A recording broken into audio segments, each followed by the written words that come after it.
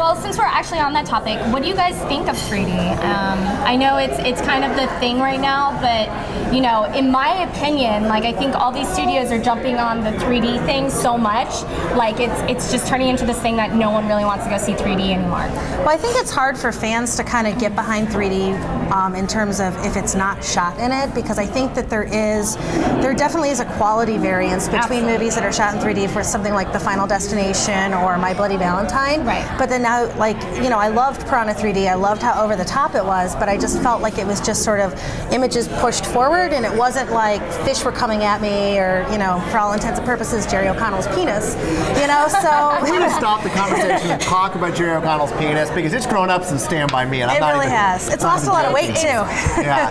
Here's the reality: is that it's a movie business, and they got to get asses in the seats. Right. And I think 90% of 3D is ridiculous and uncalled for. I went to see Clash of the Titans in 3D, and I was going to be like sick because it was it was just not.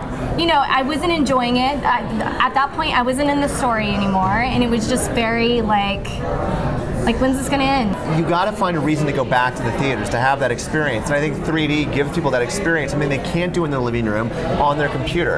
And so that's why studios, I think, are clamoring right now to find movies and say, let's convert that to 3D. Let's put that. I mean, basically, what they're doing is the equivalent of putting like terms of endearment in 3D. Movies that should never be in 3D, they're like, ah, let's put it in 3D. My Dinner with it. Andre. My dinner with Andre in 3D. and it's Regarding ridiculous. Henry. Yeah, I regard it, it doesn't. It doesn't Yeah. make. I mean, to see Harrison Ford is that 3D in a bed is just not cool. But they need to If do it was indie though, He'd be even more ape-like. that might be cool.